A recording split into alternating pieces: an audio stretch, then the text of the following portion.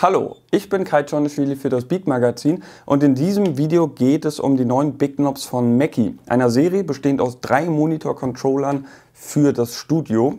Und ich werde hauptsächlich auf das größte Modell, den Big Knob Studio Plus, eingehen und dann anschließend die Gemeinsamkeiten und Unterschiede zu den anderen Modellen erläutern. Und weil der Big Knob Studio Plus so komplex ist, kann man daraus auch ganz viel Allgemeinwissen zum Thema Monitor Controller ableiten. Viel Spaß!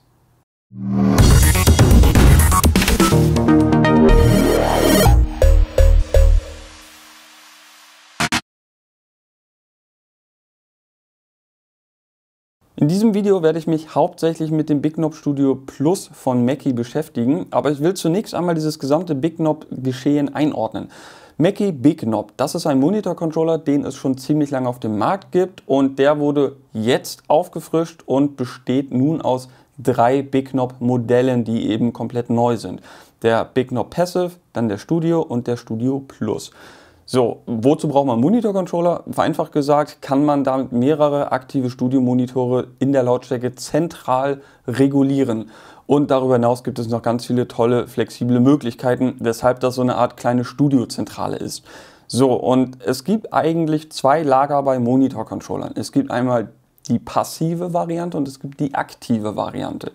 Die passive Variante, wie jetzt hier dieser Big Knob Passive, kommt ohne Strom aus. Das heißt, ich brauche kein Netzteil und damit kann ich die Lautstärke von den Studiomonitoren lediglich absenken und nicht verstärken. Das Problem bei dieser passiven Variante ist, dass ich jetzt nicht mehrere Studiomonitore gleichzeitig betreiben kann, sondern immer nur ein Paar und eben nicht mehrere, weil das eben auf diese passive Bauweise zurückzuführen ist.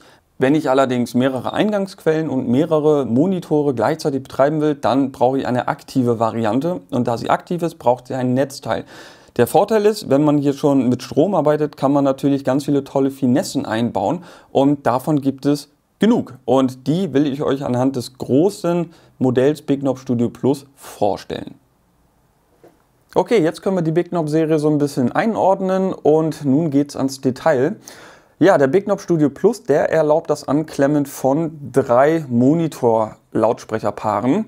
Und damit die Lautsprecher, also die drei Monitor-Lautsprecher, die jetzt zum Beispiel hier in meinem Produktionsraum sind, damit die alle auch so mit der gleichen Lautstärke arbeiten, kann ich die hier entsprechend anpassen.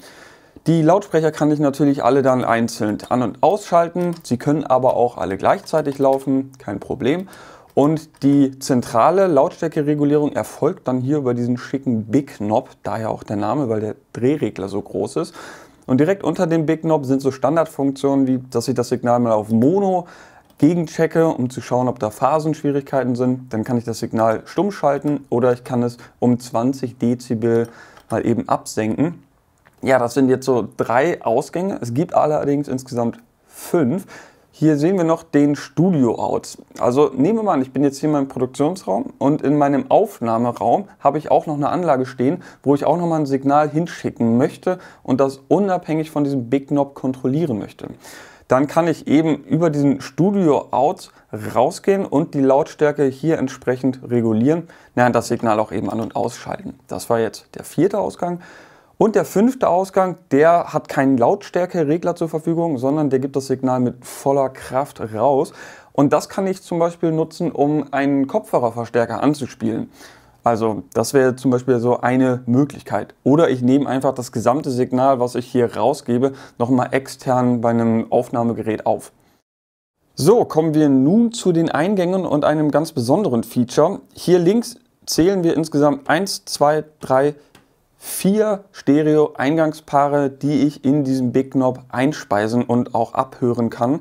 Ja, und ganz ähm, normal sind natürlich die hier in der Mitte, 3, 4, 5 und 6, denn das sind einfach meine ganz normalen Stereoquellen, die ich hier einspeise und abhören möchte. Das könnte jetzt zum Beispiel Studiorechner 1 und Studiorechner 2 sein. Die kann ich natürlich gleichzeitig abhören oder eben getrennt voneinander und ich kann auch hier mit den Eingangspegel regulieren. Ja, und bevor ich es vergesse, für Kanal 5 und 6 gibt es hier auf der Vorderseite noch einen weiteren Anschluss und zwar für das Smartphone in eben Mini-Klinkenformat. Das ist halt auch nochmal eine ganz praktische Sache. Soweit, so gut, alles ganz normal, wie man es halt irgendwie auch erwarten würde. Interessant sind jetzt hier diese beiden Knöpfe. Damit aktiviere ich nämlich das integrierte USB-Audio-Interface Das heißt, hier steckt jetzt noch ein waschechtes USB-Audio-Interface mit drin, was ich eben per USB mit dem Rechner verbinden kann. Und ab dann kann ich natürlich in meiner DAW, wie jetzt beispielsweise Ableton Live, hier den Mackie Big Knob Studio Plus als ASIO-Treiber nutzen und ab dann stehen mir zwei Eingangskanäle und vier Ausgangskanäle zur Verfügung. Und das Schöne ist, dass die Wandlung bei maximal 24 Bit und 192 Kilohertz erfolgen kann. Das heißt, ich habe ja auch echt eine super Qualität. Naja, und wenn ich jetzt zum Beispiel mal hier eine Spur anschalte und den Ausgang auf 1.2 route, dann kann ich mir eben das beim Mackie Big Knob als Audioquelle anwählen und entsprechend abhören. Das bezieht sich jetzt aber nur auf den USB-Ausgang 1.2 und der USB-Ausgang 3.4, der wird nur in den Kopfhörerweg eingeschliffen, den ich mir dann entsprechend hier zugänglich machen kann. Das heißt, ich kann von der DAW letztendlich zwei unabhängige Mixe in den Big Knob einschleifen und von dort weiter verteilen. Wenn wir jetzt hier schon Audio-Interface haben, dann macht natürlich auch links hier diese Eingangssektion Sinn. Denn das hier sind jetzt kombinierte Mikrofon-Line-Instrumenteneingänge, die mit Onyx Mikrofonvorverstärker arbeiten. Das macht bei einem normalen Monitor-Controller natürlich gar keinen Sinn. Also warum will ich da jetzt ein Mikrofon anklemmen, wenn ich das Ganze nicht aufzeichnen kann? Da ich aber ein USB-Audio-Interface drin habe, kann ich natürlich die Signale, die hier reinfließen, auch in meiner DAW aufzeichnen. Und das Tolle ist, dass Mackie jetzt hier mit diesen Onyx Mikrofonvorverstärkern baut, denn Mackie-Nutzer werden diese auch von den Mischpulten kennen und werden auch wissen, dass man an denen auch einfach nichts auszusetzen hat. Das heißt, das ist jetzt hier nicht nur so ein Gimmick, das sind Mikrofonverstärker, mit denen man wirklich arbeiten kann. Für mich in der Praxis heißt das jetzt, ich kann jetzt zum Beispiel ein Kondensatormikrofon anklemmen, was eine Phantomspeisung braucht, schalte ich hier an, damit nehme ich meine Sprache auf. Dann kann ich hier noch einen E-Bass anklemmen und diese beiden Signale kann ich in meiner DAW aufzeichnen. Und das ist natürlich sehr schön, wenn man sich einen Monitor-Controller kauft und auf einmal auch seine kleine Studio-Session damit aufzeichnen kann. Ich werde gleich noch was zu dem USB-Audio-Interface verraten, denn da hat Mackie noch eine sehr ähm, ja, sinnvolle Lösung eingebaut. Doch zunächst gehe ich mal weiter nach unten zu der Kopfhörersektion. Man kann hier sehen, ähm, dass wir insgesamt zwei Kopfhörerausgänge unabhängig voneinander hier bei dem Big Knob Studio Plus drin haben.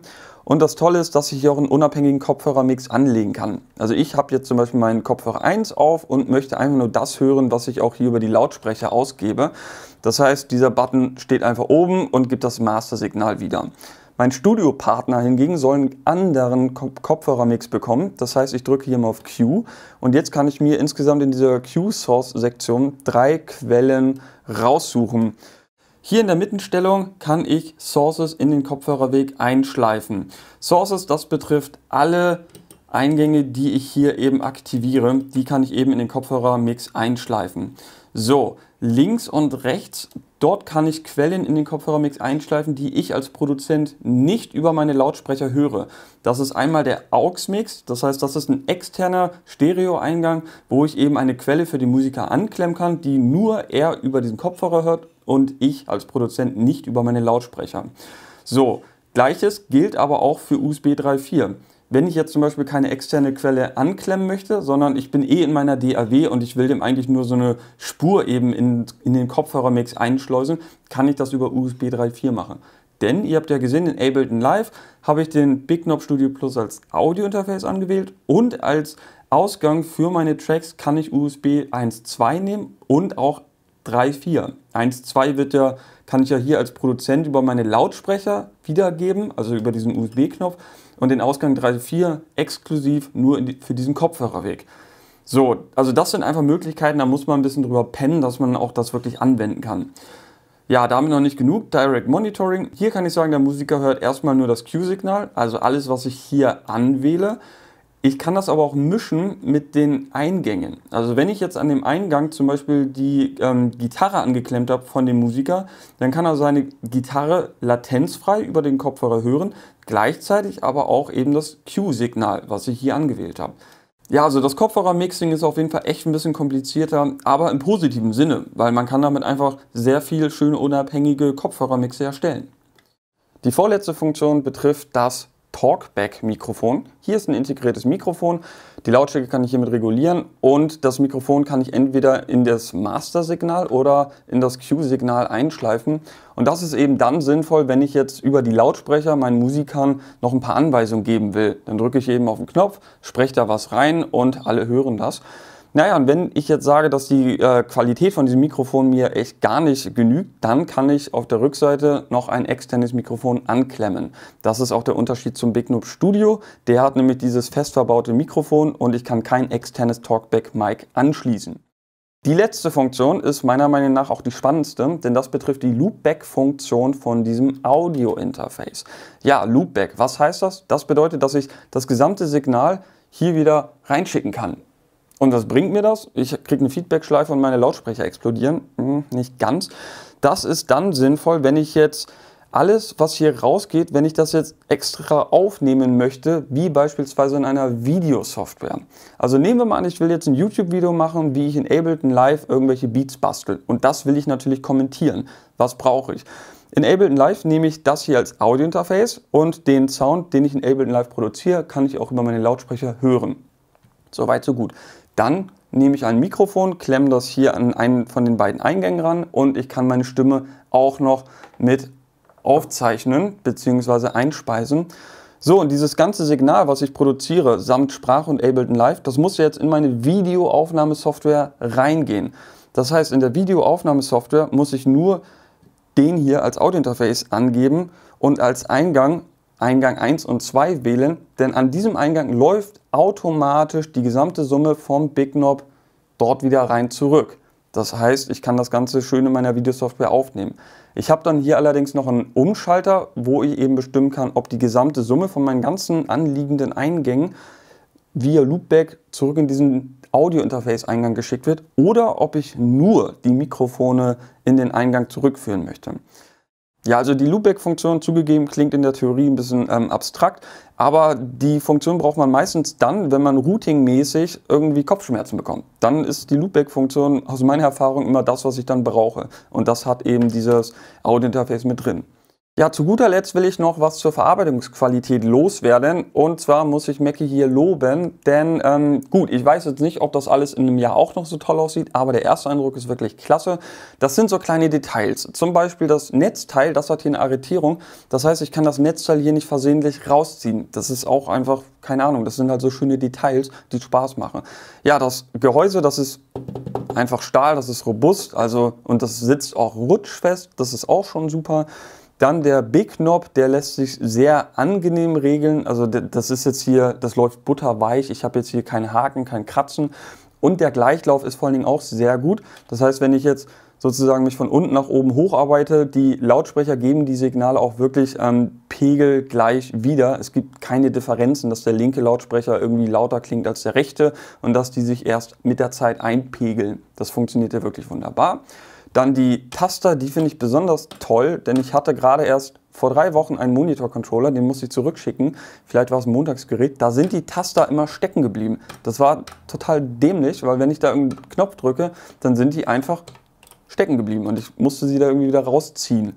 Egal. Also das gefällt mir hier auch, deswegen bin ich hier gerade sehr zufrieden mit. Und diese ganzen Drehregler, die haben auch alle den gleichen Widerstand. Das ist ja auch nicht immer so selbstverständlich. Ich konnte auch jetzt kein Kratzen feststellen. Also ich hoffe einfach mal, dass dieser Verarbeitungseindruck sich auch ähm, über die Jahre noch behaupten kann. Der erste Eindruck hier ist wirklich klasse. Und das betrifft auch die anderen Modelle. Denn selbst zum Beispiel die, diese, diese Budget-Variante, also der Regler fühlt sich halt genauso an und die äh, Taster. Also hier kann ich echt nicht meckern. Ja, jetzt habe ich mich ja nur mit dem Studio Plus Modell auseinandergesetzt und man will natürlich auch wissen, was denn die Unterschiede zu dem mittleren Modell sind. Vielleicht ist das ja jetzt das richtigere Produkt für mich. Also zunächst einmal gibt es hier das integrierte Talkback-Mikrofon und bei dem Plus Modell gibt es das auch, plus die Option, dass ich auch noch ein externes Talkback-Mikrofon anklemmen kann. Ja, eingangs-ausgangsseitig gibt es natürlich Unterschiede. Bei dem Studio Plus Modell kann ich drei Ausgangspaare anklemmen, also drei Monitorpaare und bei dem Studio Modell nur zwei. Eingangsseitig kann ich vier Stereo-Quellen in das Monitoring einbeziehen und beim Studio Modell habe ich lediglich drei Stereo-Quellen zur Verfügung. Ja, ein wirklich sehr großer Unterschied macht das Kopfhörermonitoring, denn beim Studio Plus habe ich zwei Kopfhörerausgänge, die immer mit dem gleichen Signal befeuert werden. Bei dem Studio Plus Modell kann ich hingegen unabhängige Kopfhörermixe erstellen. Außerdem gibt es ja noch das Audio-Interface. Das hat bei dem Big Knob Studio Plus insgesamt vier Ausgänge und zwei Eingänge. Und beim Studio habe ich zwei Eingänge und zwei Ausgänge. So, der wesentliche Unterschied ist, dass ich den Ausgang 3, 4 von dem Interface auf den Kopfhörermix legen kann. Das heißt, hier kann ich wirklich einen sehr unabhängigen Kopfhörermix fahren, während ich hier ja einfach nur für beide Kopfhörer immer das gleiche Signal habe. Also wenn man jetzt einen sehr flexiblen Monitor-Controller inklusive Audio-Interface sucht, dann sollte man sich den Studio Plus mal anschauen. Wenn man einen Monitor-Controller mit Audio-Interface, aber weniger flexiblen Routing-Möglichkeiten sucht, dann sollte man sich den Studio mal anschauen. Ja, und wenn man einfach einen schnörkellosen Monitor-Controller ohne Schnickschnack sucht, dann könnte der Passive die richtige Wahl sein. Ja, das war ein sehr langes Video. Deswegen lasse ich mir auch mit dem Outro ein bisschen mehr Zeit. Nein, Scherz. Ich hoffe, ihr konntet sehr viel zum Thema Monitor Controller und natürlich speziell zum Big Knob Studio Plus lernen. Aber wie auch am Anfang schon erwähnt, wenn man den verstanden hat, kann man sehr viel zum Thema Monitor Controller im Allgemeinen ableiten. Deswegen war es mir wichtig, hier mal wirklich alles genau zu erklären. Denn man denkt vielleicht Monitor-Controller, ja, was, was soll man da jetzt so eine Wissenschaft draus machen, Lautstärkeregler für Monitore und, und dann hat sich das. Nee, habt ihr ja gesehen, also es ist schon ein bisschen komplexer.